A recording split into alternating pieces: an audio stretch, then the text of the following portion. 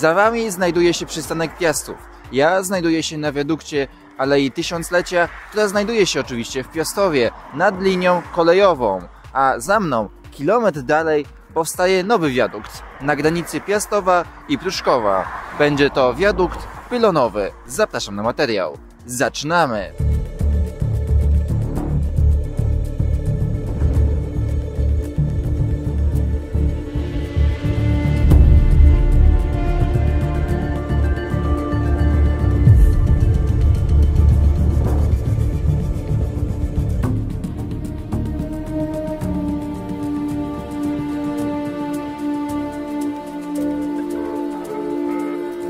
Mazowieckie inwestycje.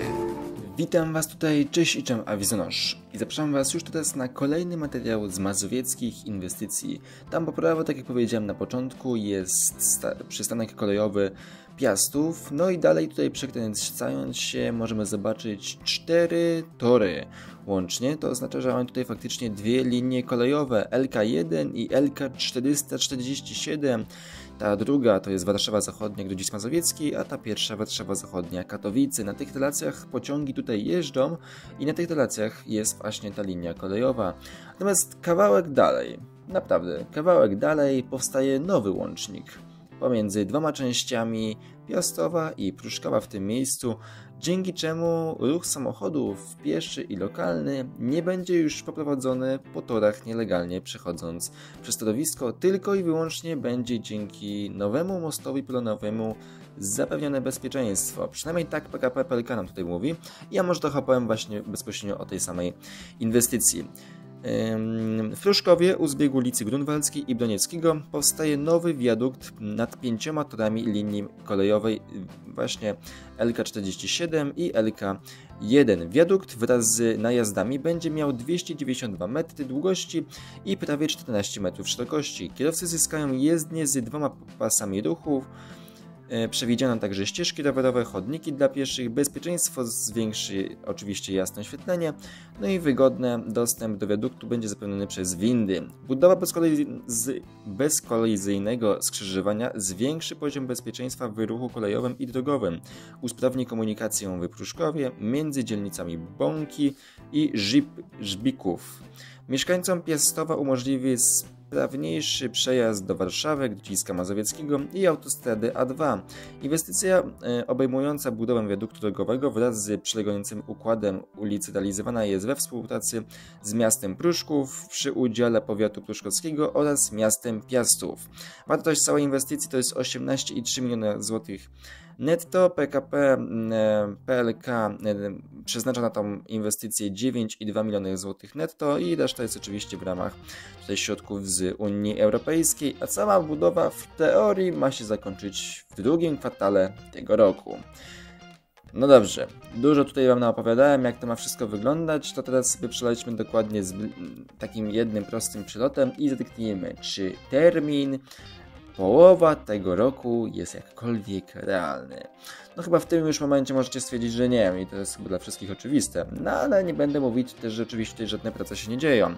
E, ulica Juliana Tuwima, e, czyli ta bezpośrednio, która jest przed e, ekranami akustycznymi tutaj, jest zamknięta oczywiście dla ruchu samochodów i to są jednak chyba jedne z większych utrudnień, które są tutaj przy budowie e, tegoż że nowego obiektu. Natomiast pomijając to, możemy zobaczyć, że tak, tutaj po tej stronie, gdzie ma powstać w przyszłości rondo ze zjazdami w czterech kierunkach i w przyszłości tam dalej, dalej, łącząc się, jadąc bezpośrednio wzdłuż domków e, do ulicy Konstantego, będzie powstawać no, za jakiś czas, tak? To, to nie jest najbliższy czas tutaj dolecicie, dolecimy lekko dronem, to zobaczycie faktycznie, gdzie to będzie się znajdować, no ale no, tutaj na razie ta inwestycja jeszcze nie jest realizowana w najbliższym czasie, więc to sobie poczekamy. Też przy okazji faktycznie muszę przyznać, że to jest budowa dosyć dużej ulicy e, z ruchem takim tranzytowym mimo wszystko, e, tranzytowym lokalnym, pomiędzy domkami. Nie do końca jestem przekonany, czy mieszkańcy są na to zachwyceni. No zobaczcie, to są budynki. No, to nieładnie wygląda, jeżeli chodzi o tranzyt. Ale w tym miejscu będzie rondo i będzie rozjazd w paru kierunkach. O tym, jak wygląda tutaj budowa ulicy Warsztatowej, właściwie jej przedłużenie Broniewskiego, powiem za chwilę, bo najpierw mamy wiadukt i tutaj jaki jest aktualnie postęp prac. No możecie zobaczyć, że części wiaduktów już mamy. Znaczy te główne płyty, które są po prostu przed e, torowiskiem kolejowym pojawiły się e, i to faktycznie trzeba przyznać. Co do pochylni i zjazdów z wiaduktu, tutaj dużo się nie pozmieniało na okresie właściwie ostatniego, ostatnich dwóch miesięcy, kiedy ja tutaj się ostatnio pojawiłem.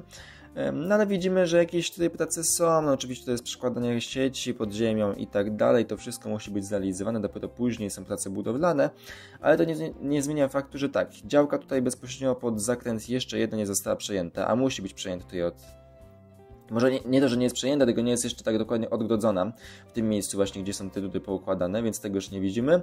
Tutaj powoli właśnie się zarysowuje ten zjazd. Też zdjęcia, do odpowiadam, nie są najnowsze, więc możliwe, że już na przestrzeni tych ostatniego tygodnia, kiedy to było jakoś nagrywane, trochę się zmieniło, no ale to widzimy dokładnie, że powstaje właśnie ta płyta od tej strony, żeby ten wiadukt e, był e, nad linią kolejową. Też tutaj co warto zaznaczyć, tak jak to powiedziałem wcześniej, ten wiadukt jest inny niż wszystkie wiadukty, które nagrywam we wszystkich pozostałych moich, moich seriach, ponieważ to będzie wiadukt pylonowy. Co to oznacza? Będzie wyglądać tak samo jak na przykład most świętokrzyski czy most siekierkowski, czyli będzie podtrzymywany przez takie wielkie stalowe liny, które po prostu utrzymują go w powietrzu dzięki dwóm dużym podpodom, które są po prostu zamontowane. No właściwie to czterem podpodom, e, po dwie na jedną stronę, po dwie na północ, po dwie na południe.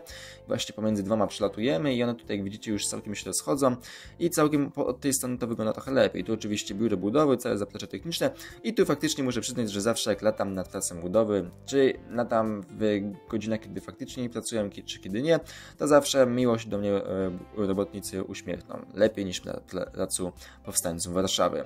Ale to nie zmienia faktu, że to powstaje, tak? Tutaj widzimy właśnie dokładnie jak ta konstrukcja jest, ta płyta, e, po której będą w przyszłości jeździć samochody, mniej więcej już jest zarysowana, no i dalej będzie po prostu pochylnia ze zjazdem w dół.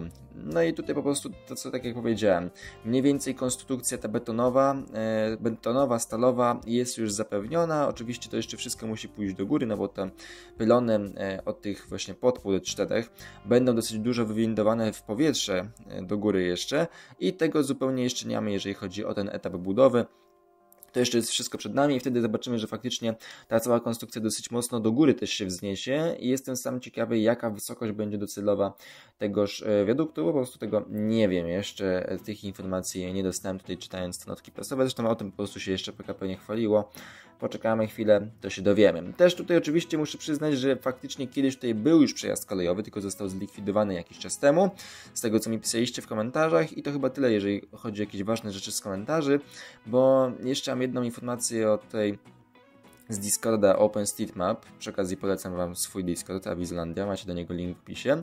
Natomiast pomijając mojego Discorda, którego właśnie poleciłem, jest Discord OpenStreetMap Polska, gdzie dostałem informację, iż na wprost nie będzie już tej drogi, która aktualnie dosyć mocno tutaj zakrętami jeździ, a mianowicie, tak jak powiedziałem wcześniej, ulicę Broniewskiego, która właśnie, tak jak powiedziałem, teraz jeździ zakrętami, będzie naprostowana, bo tutaj będzie rondo i później będzie jechać prosto, właśnie tak jak teraz lecimy dronem. Tu widzimy jeden zakręt 90 stopni dookoła, ale ta ulica Broniewskiego będzie jeszcze dalej prosto jechać. E, no i na jakim etapie jest aktualnie tutaj to? No w teorii, w teorii całkiem niedługo, bo z tego co na Discordzie tutaj wyczytałem, to 420 dni od podpisania umowy ma być to wszystko zrealizowane. No na razie nie widzimy żadnych prac tutaj budowlanych. To będzie jeszcze dalej tam jechać kawałek prosto, bo tam jest jeszcze jeden zakręt. Ale to nie zmienia faktu, że coś ruszyło w tym temacie i faktycznie coś tu się dzieje.